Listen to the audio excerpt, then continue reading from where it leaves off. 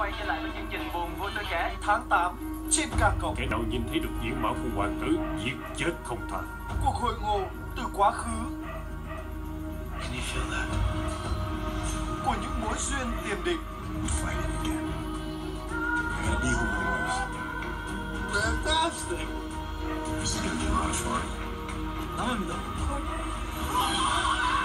Trở lại của những ông hoàng. Và những kẻ thù không đội trời chung.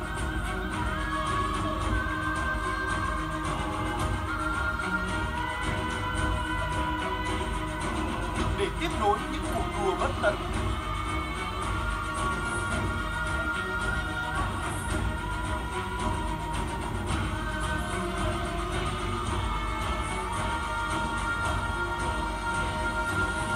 Đón xem trên ca cộng